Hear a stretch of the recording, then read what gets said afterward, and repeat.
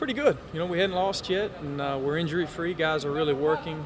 I feel like we've gotten uh, good leadership from a bunch of different guys. Uh, a bunch of upperclassmen, more experienced than we've had. So this is this is foreign territory, really, uh, for me as a coach. It's uh, it's been nice to have uh, practices with with I guess so many different guys being so vocal at different times and helping lead and coach each other feel like we're in a good spot right now. You know, we, have improved in some areas. We obviously still have a ton of, of, room for improvement, as I'm sure most teams do throughout the country. Uh, but I, I, like our mentality uh, today, at least. You know, it's it's hard not to mention uh, Keon and, and Cordarius first. Them being four-year seniors for us, they've they've both um, continued to improve on both ends. Uh, they both continued to learn how to become uh, more uh, of leaders, you know, throughout their career. Um, that said, uh, Speedy and, and Raheem are probably as vocal as anyone on the team. The guy that's made the biggest jump in terms of leadership solely would be Raheem Appleby. He's uh, he's he's really in a good state of mind right now. He's he's he's working really hard. He's he's uh, he's been extremely vocal. He's been extremely competitive in everything we do in practice. Uh, very proud of uh, the jump he's made with his leadership skills. Yeah, sure. You know, I'm expecting him to at least uh, compete to play. You know, to have a chance to play.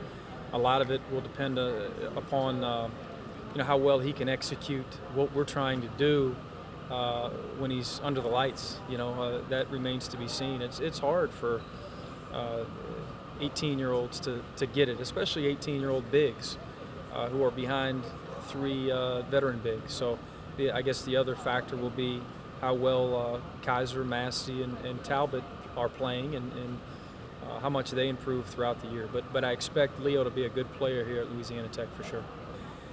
Ah, you know I'm not I'm not sure. You know I, I, I would hope that we'd have chances in those games, uh, but I know all three will be very difficult, and those aren't the only three. You know that, that keep you up at night.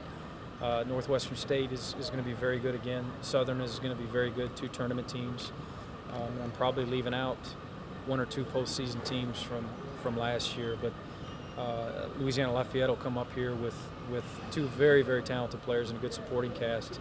Uh, McNeese, heck, they beat us last year, so that's that's one that we look forward to as well. You know, in, in terms of playing a really you know quality opponent, a quality program. There's a bunch out there, a bunch of opportunity for us. As long as we continue to improve, um, and, and do a good job in, in, preparation of those games, hopefully, you know, we can win our share as we did last year.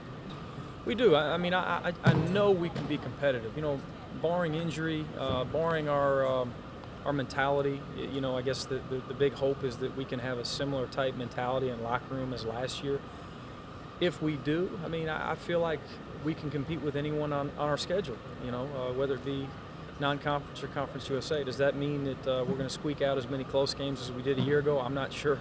Uh, I think that'd be hard to do. At, at some point, the law of averages got to kick in if uh, you know if, if, we don't become more efficient offensively. But um, it, are, are, we scared? Are we are we intimidated by by some of these teams? No. You know, we, we think that we can be very competitive night in and night out. Uh, we'll see how we finish those games. You know, how, how we finish down the stretch. Um, in terms of you know the, the, the last couple months of the season and how we finish down the stretch, late game situations will uh, will, will, determine how many we can win and, and whether or not we're in the, the conversation uh, for a you know a championship come February.